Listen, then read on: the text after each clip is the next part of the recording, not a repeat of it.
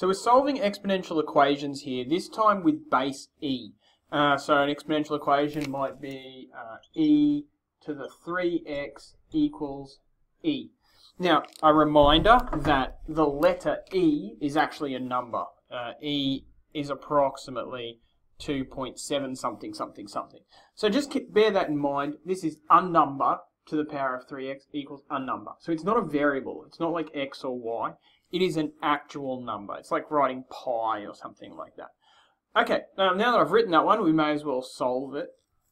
Uh, if e to the power of 3x equals e, we could say that e to the 3x equals e to the 1 because e is just e to the 1. So I haven't changed anything there. Now, if e to the 3x equals e to the 1, then uh, 3x must equal 1 uh, because we're just raising the same thing to a power and they're equaling each other. So those powers must be the same. Get to do one of these therefores and we can say that therefore 3x equals 1 and x equals 1 third. Alright, so there's your, your most basic how to solve uh, exponential equation. Of course, you can do much more difficult stuff than that. For example, something like this, e to the negative x plus 1 equals 1 on e to the 3. Now you really want to get it to look like that. Uh, by that I mean a base, the same base on either side, and then we can sort of do this therefore thing. So I can rewrite that as e to the negative x plus 1 equals e to the negative 3. Now that it looks like that, I can just uh, do my little therefore, and I get negative x plus 1 equals negative 3, and shuffle shuffle, uh, x equals 1 plus 3, so x equals 4.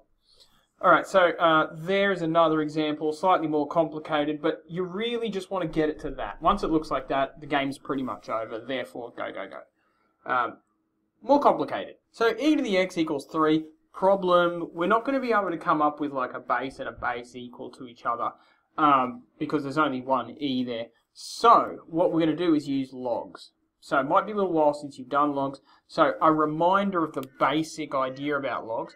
If I've got uh, a to the b is equal to m, which is what I have there, I could rewrite that in logarithmic form as log base a m equals b.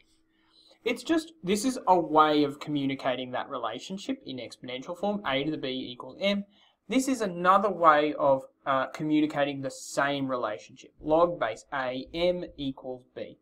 Really, we're saying a to the b equals m, and here we're saying a to the b equals m. It's just another way of communicating the same thing. So, if I were to write this in logarithmic form, it would be log base e uh, 3 equals x. Now, another way to write that, this is called natural log. So another way to write that is ln, uh, log natural. Um, ln3 equals x. Grab your calculator, press the ln button, press the 3, and you'll know what x is ln3 equals 1.098. That'll do. Uh, 099 because I've got to round up. Okay, so that's it. Just make sure that you know that relationship and you can move from exponential form to log form, natural log. Boom. Alright, let's do a real doozy here. e to the x minus 3, e to the negative x equals 2. Uh, this is going to end up doing some weird quadratic thing, and you've seen these sorts of questions before. Um, so I can write it as e to the x minus 3 over e to the x equals 2. Uh, now it's not really clear what to do here, so you need to make a bit of a mental leap. If I multiply everything by e to the x, watch what happens. So e to the x times, I'll just do a little bit of a, a scribble here, e to the x times e to the x would be e to the uh, x plus x, which is e to the 2x. Alright, so e to the 2x minus. Now, if I multiply 3 over e to the x by e to the x, they're going to cancel out. And I'm just going to have minus 3.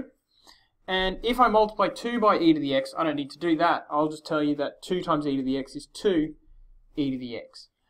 Now, if I rearrange that to put everything on the left-hand side, I'll have e to the 2x minus 2e to the x minus 3 equals 0.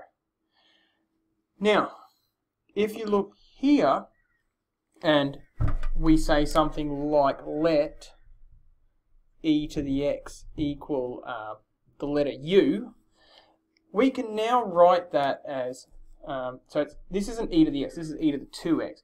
So another way to write that would be uh, u squared. Now, if I let e to the x equal u, I've got minus 2u and minus 3 equals 0. So now I have a nice, neat little quadratic. u squared minus 2u minus 3 equals 0. Uh, now you could solve that using a quadratic formula, using completing the square. I'm just going to factorize it because it's like a monic. Um, so I've got u, u, um, it's going to be like 3 and 1 here. Uh, now one of those will have to be negative. It's going to be that one. So u minus 3 or u plus 1 equals 0. Using my null factor law, I can say therefore u equals um, 3 or negative 1. Now, um, I think that's nearly it, but I don't want to know what u is. I want to know what x is. So now I can say, okay, I said u was e to the x, so therefore e to the x equals 3. And, well, I've already done that work there. So I can just kind of grab all that work, take that, cut and paste, boom, and I get x equals 1.099 equals x. So that's one solution.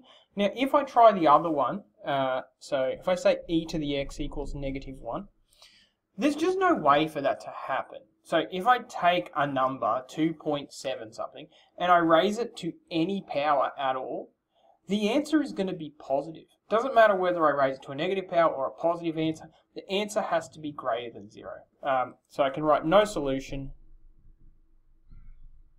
um, because e to the x must be greater than zero.